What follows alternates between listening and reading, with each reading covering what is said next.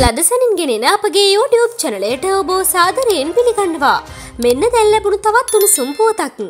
හිටපු ජනාධිපති මෛත්‍රීපාල සිරිසේන මහතා යාපනය දිස්ත්‍රික්කේ එක්සත් ජාතික පක්ෂය නියෝජනය කළ හිටපු රාජ්‍ය ඇමතිනි විජයකලා මහේශ්වරන් මහත්මියගේ නිවසට ගොස් සුහද සාකච්ඡාවක් ඊයේ පවත්වා තිබෙයි. යහපාලන රජය පැවති අවස්ථාවේ විජය කලා මහේශ්වරන් මහත්මිය අධ්‍යාපන කටයුතු රාජ්‍ය අමාත්‍යවරයන් ලෙස කටයුතු කළාය. විජය කලා මහේශ්වරන් එක්සත් ජාතික පක්ෂය නියෝජනය කරමින් පසුගිය පාර්ලිමෙන්තු මැතිවරණයට තරඟ කළද එහිදී ආසනයක් ජයග්‍රහණය කිරීමට නොහැකි විය. මෙම අවස්ථාවට ශ්‍රී ලංකා නිදහස් පක්ෂ මහලේකම් දයාසිරි ජයසේකර හා කොළඹ පුරපතිනී රෝසි සේනානායකද එක්ව සිටියාය. මෙවැනි උණුසුම් පුවත් ලදසනින් දැන ගැනීමට අපගේ YouTube චනලය සබස්ක්‍රයිබ් කර බෙල්ලයිකනේ ක්‍රියාත්මක කරන්න.